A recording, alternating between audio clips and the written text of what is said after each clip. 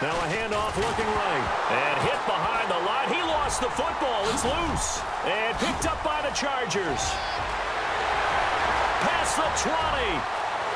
And he's into the end zone. Touchdown, Chargers. This defense, Charles, they needed some type of a spark to help get them back in this game.